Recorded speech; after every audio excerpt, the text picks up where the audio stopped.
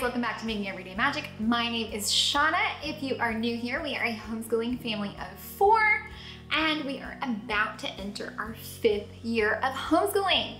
Today, I am going to take you through, because we finally, we finally have all of the pieces. I'm gonna take you through planning our entire homeschool year. Before we go any further, guys, please scroll down, hit the big red subscribe button, turn on the bell for notifications, and give this video a thumbs up. I have been putting off making this video because I like to have all of the things in my hands and I am going to cut over and downshoot and show you. I like to take notes, write it out, do all the things, but this is just going to be the first in like a this is just going to be the first in like a um, maybe six part series that is all taking place probably today. Because once you start going on this planning thing, it just is snowballs and it's nice once you have it all out to go ahead and do it. So this specific video will be about planning our entire homeschool year and how I do that. Coming up will be everything we're using for fourth grade, everything we're using for kindergarten, planning out our fourth grade day and planning out our kindergarten day, what our flow for each day will look like. Eventually, probably right before we actually start sharing our homeschooling, we will share organizing all of the homeschooling things because as you will see, it's a lot of stuff. So this video is going to be planning your homeschool year um, and we're just gonna, we're gonna jump right into it, guys. I'm so excited. I'm so excited that we finally have all the things. Hey friends. Okay. Let me get comfortable in this chair here. Um, I'm so excited to get started right here. I've got the remnants of an iced coffee. I am ready. I'm so excited. I'll probably be switching because I've got another tripod right here. I'll probably be switching between the two down shots and face shots of me. Okay, so I've got what I think is everything I need. My goal, my very first goal here with this day is to plan out my year. Now, I know that, I'm gonna show you guys this thing. I have started doing uh, digital planning through OneNote, and I'm doing that because I can go in and do um, because I can go in and do it through my phone, which is Android, my iPad, which is Apple, and then my PC desktop. So it's been pretty awesome. Now, okay, here we go. Let's look at this. See if I can pull this up full screen here. Now, I have a full year laid out in my digital planner. Now, I know that most all, you know what, let me, let me, let me back this up. You guys know a while back I made, um, I made like a digital, or I went on to the Timberdoodle online scheduler and made schedules. And I told you that I would come back and like perfect this later. Well, I've got my schedules, I've got my handbooks, um, and the schedules have the things that are not part of the handbook because I'm using a lot of things that aren't Timberdoodle. Um, so going back in, you know that I think I figured out that both so Mosdos has um, like 30 weeks of official lessons, but then it has like a whole poetry unit, which is new. And then Spelling You See has 36 weeks, but I don't plan to do all of them. And then um, Texas uh, the Texas History Through Studies Weekly is 32. So almost everything is 30. A couple things are more, but I'm going to stick with 32. So I like the idea of 32.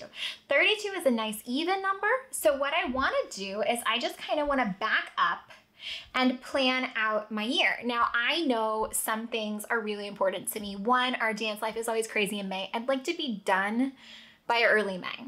I like to take off a bulk of December. I know we've got vacations in the spring, vacations in the fall. These are things that I know are important to me. So then basically what I do is I just work backwards. Like I know I need to fit in 32 weeks of school, right? So let me come on over here and I'm gonna just pop into a highlighter and then zoom it out. So I know that I would like to get through because it's 32, nice even number. I'd like to get through 16 weeks in the fall, 16 weeks in the spring, and be done. And I think I already went through and kind of mapped this out. So if I come in here and we start the first week of August, I've got one, two, three, four, and then this would be five, seven, eight, nine, 10, 11, 12 weeks before I know for a fact we would be gone on a two week vacation. So that's 12. Once we get back from our vacation, it's not two weeks, but it like spans two weeks. So it's like a weird kind of thing. So that's 12. 13, 14. Of course, we're not going to do schoolwork the week of Thanksgiving. And then the first week of December is 15, and the first full week of December will be 16. And that means that we will then, so if we start the first full week of August, that looks like we would be starting, pulling my pencil in here so you guys can see everything here. Okay, so August 3rd looks like our start date.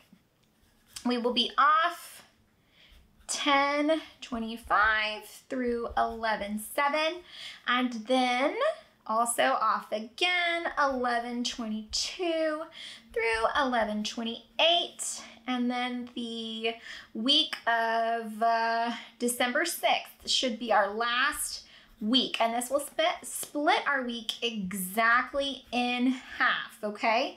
So then we should be off 12 13 through now, the good thing about this is if I need an extra week for whatever reason, if I need to skip another week, if I just need to catch up or do a little more, I can extend a little bit more into December without uh, running into our spring. So it looks like we would be off through 1 to 22. Now, if I come in, let's see if we start this week, there's one, two, three, four weeks in January five, six weeks before I know that, um, here, let me put restart, one, four, and then I'll come in here and we're gonna be off again to 14 through to 27. I don't know that those are the exact dates of the vacation, but I know that I want to take a kind of a big trip in the spring. So we've got one, two, three, four, one, two, three, four, five, six before we take a big vacation.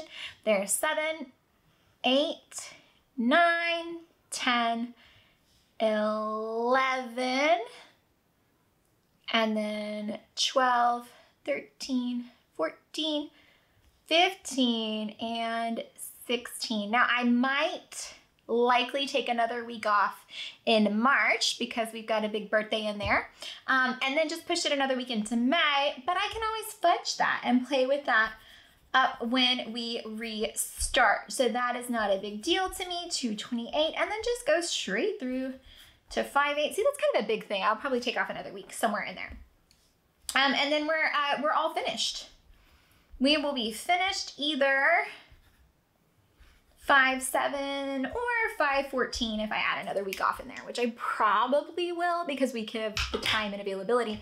But like I said, you guys know that we have a big dance at the end of the year, and so that is um, something I just like to be off for. So that right now is the tentative plan for the full and complete school year.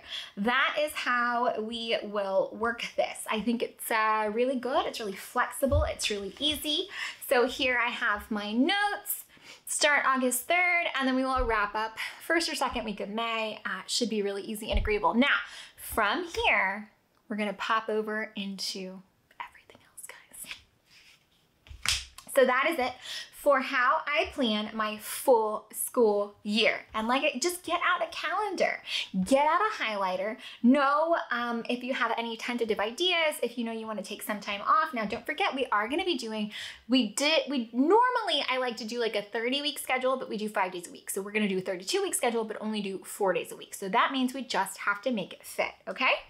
So the next step in my planning process will be to pop right over and figure out what all I need to get into our daily flow. I'll be right back with that. Guys, I hope that you found any of that helpful, entertaining, or informative. If you did, please scroll down, hit the big red subscribe button, turn on the bell for notifications, give this video a thumbs up. Let me know if you have any questions, comments, concerns.